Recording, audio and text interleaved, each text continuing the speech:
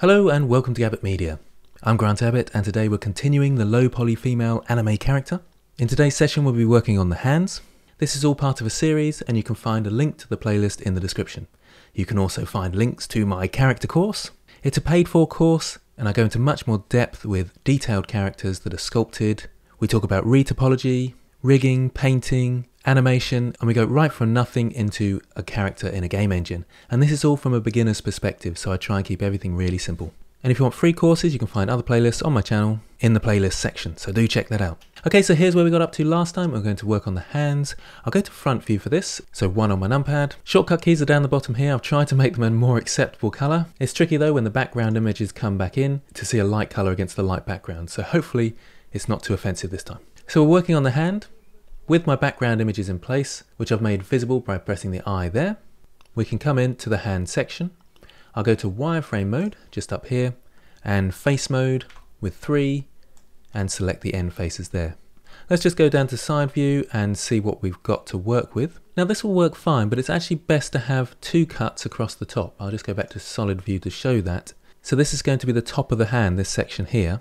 So before extruding out, I want to position these so that they're in a good location for the hand. So before we start, let's talk about the different types of low poly hands. There's a great example here. Quick shout out to Sketchfab as well. I think Sketchfab is absolutely brilliant for showing off your models and being able to look at the topology of the models. So you can come down to here and you can go to the model inspector. And if I scroll up slightly, you can see the wireframes. The creator Graft has kindly put the wireframes on here to show the shapes and the topology. And you can support them by buying it here and you could just attach these to your character. Sketchfab is a really great place where you can show off your models, sell your models, and buy models. And the fact that you can see the topology before you buy is particularly helpful. So I really would encourage you to go and check it out. And also I think Graft has a YouTube channel, so you might want to check them out as well, and they do Blender videos. So well worth checking out. Anyway, there's different types of low poly hands as you can see here. And I can zoom in with the wheel on my mouse. These are the sort of lowest poly ones down here. And it depends on the complexity of your game or where this character is going or the style that you want it to look like. We'll be going for this sort of level, but I'll also be showing you how you can get to this level as well.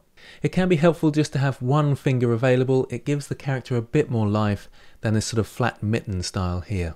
But it doesn't add too much topology, so you can still keep that style and keep optimal in your games. So with those two faces selected, back into front view, with one on my numpad, and E to extrude outwards. I'll go just past the base of the thumb there, so I can extrude the thumb out from here. And I just come around to the side and see what that looks like. So it looks all over the place. So side view with 3 on my numpad, and that needs to be brought back into the middle there, and it needs to be scaled in the Y, so S then Y to scale that out. Might need to just reposition some of these attach as well, just so they're a bit more level. And what we'll be doing is bringing the thumb out of those areas there. So this is just the hand and finger section. So I'll select those end faces there again, back to front view, E to extrude along to the fingers. Just check around at side view again, make sure it's all okay. I think these faces need to come out just a touch more, so I'll select those two, three on my numpad to side view and grab them out in the Y just a touch to about there and select these two again, one to front view, E to extrude down and just rotate this into position, E to extrude down to the next knuckle and E to extrude down to the last. So let's have a look at what we've got. We've got a very basic hand there. Let's sort out the thumb first and then we'll sort out the fingers second. So let's go to front view and see where the thumb's coming from. So it's these two faces here, so we can select those. Round to the side and E to extrude those out to around there. I'll move around to the top and I'll select these two edges at the top here. And GG to edge slide, so move them upwards and move those into position. The wrist is looking a bit thin, but we'll do a bit of editing in a moment. I'll bring these edges out slightly.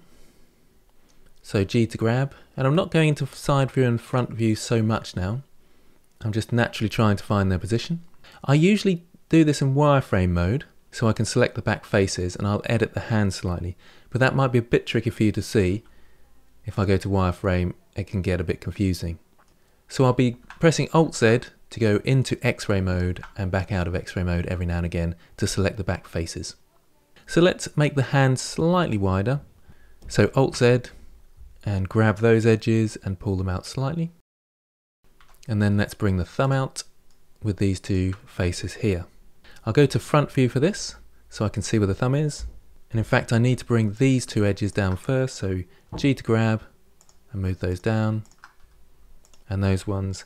And then I can grab these two faces, E to extrude and scale them in and grab them down. Probably not quite as far as the thumb there, but that'll be fine. And then E to extrude once more, grab them down and scale them in. Okay, so we've got a rough thumb at the moment. It's looking a little bit misshaped, but we can deal with that through a bit of editing. Now this does depend how high poly you want to go, but we don't really need the loop cut that's going all the way around the middle of the hand here, so we can break it off at the end here and the end here. And to do that, we'll create a pole. So somewhere like there, with the knife tool, K for the knife tool, and cut there as well. So I've created a pole. Now I can select these edges going around here and they'll stop at the poles. And I can press Control X and we've reduced the polys going all the way around. So let's work with what we've got now and just tidy up a little bit. Going to make the width, the rest a bit wider, coming out there and coming back up to there a bit more. I think I'm going to follow this one through the middle eventually but I'll do that in a moment.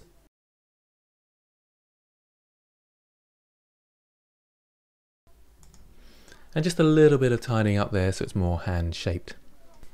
Okay, back into solid mode and I think we need a cut down the middle here. I'll come from this one, so K, knife tool and cut down the center to this point here. Slightly across to the pointing finger, back across here and then maybe into the thumb and press enter. So it's going all the way around.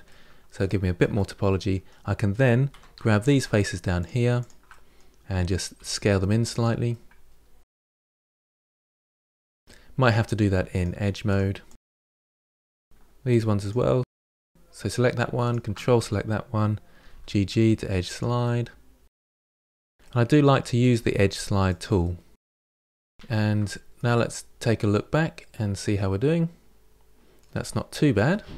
Just from the side it's not quite right and we can select these ones GG and slide those back and these ones as well so thinking about how the hand and the small finger coming around there the middle finger sticking out the most and we can probably select these and just go out a tiny bit this way. The only bit where I'm seeing a bit of distortion is across the top of the thumb there so we can actually add in with J a cut there and then we don't see that distortion. So a simple hand there. We can either draw the fingers in, we could even put gloves on our character, which is a common way of getting around the problem of having no fingers, sort of mitten type things. The other thing that's quite common is to have one finger that's sort of movable. For that you would need to cut down here and all the way around and back again. Then we can go to face mode and delete these faces in here. I'll press full stop on my numpad so I can zoom in on them. Delete the faces and then I can select this edge here and this edge here and F to fill. And now I can just select the ends and F and F and F and F this way. And then we've got a simple sort of finger that I can then animate and move. Needs just a little bit of smartening up I think. And Alt Z I think it's a little bit too big as a finger so I'll move it across to there. So we've got three fingers this side and one finger this side. It's about there I think. Might want to flesh the fingers out a bit more so we can have a cut coming around here. And that gives a bit more curve to the fingers so we can move this out just a touch like that I could in fact move these in slightly give them a bit more roundedness it does help sometimes if you have that one finger that can move it gives a little bit more life to your characters rather than just a flat hand but it depends how far you want to go with the animation. Okay, so that's making hands with a few tips there for you. Again, comment below with any thoughts you might have. I hope you're still enjoying the series, and I'll see you next time.